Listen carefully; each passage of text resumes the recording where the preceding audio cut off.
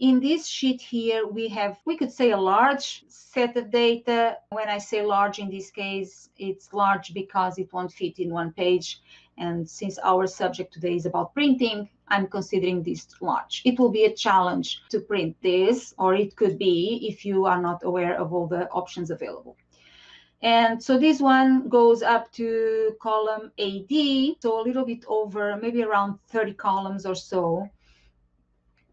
And if we scroll down, we have 150 rows. So it's not really a large set of data, but if we want to print this, all this information for some reason, I'm not sure why someone would want to print this, but if we do, it can be a challenge. So uh, we have a column with sales rep and a column with department, and then a bunch of columns with dates. And uh, I could even assume that we could continue to expand the set, uh, the number of columns, and if we continue to receive information. Anyways, so let's imagine I want to print this.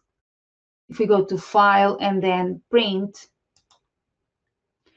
we are brought to this area here where we can set different things about printing. Okay, if we scroll here at the bottom, we can see one out of 15, meaning we ha have at the moment 15 pages.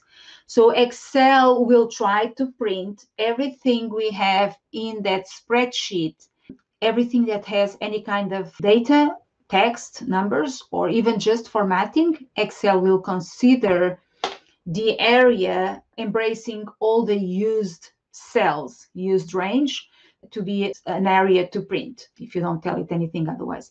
So if we scroll through these numbers here, we can see that it's kind of scrolling down. So the name, the names I believe are sorted alphabetically.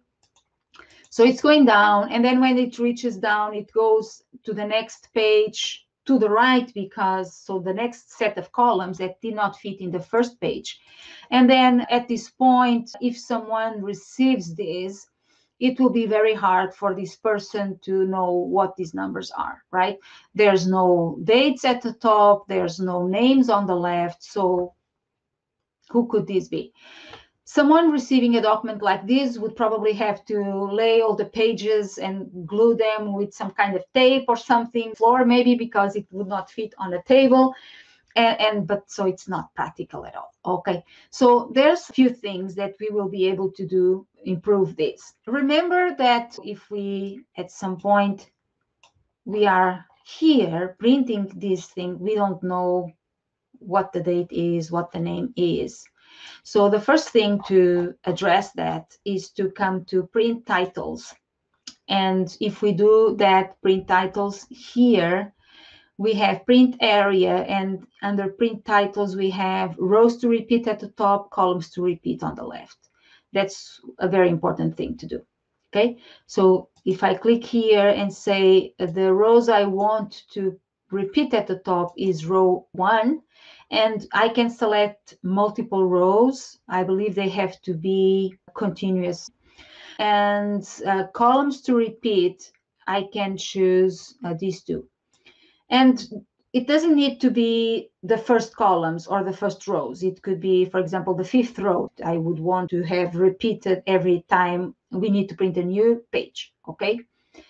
So just doing this, click OK. If we now go to print preview, now we got 20 pages. Uh, so from 15, we went to 20. But now we'll see what happens. We always have the sales rep, the department, and then the headers with the dates. And sometimes the, the sheet, for example, at the end, we have just one column because that's what was left to print. But now at least it will be a great help for, for someone who has to read this information printed, don't you think?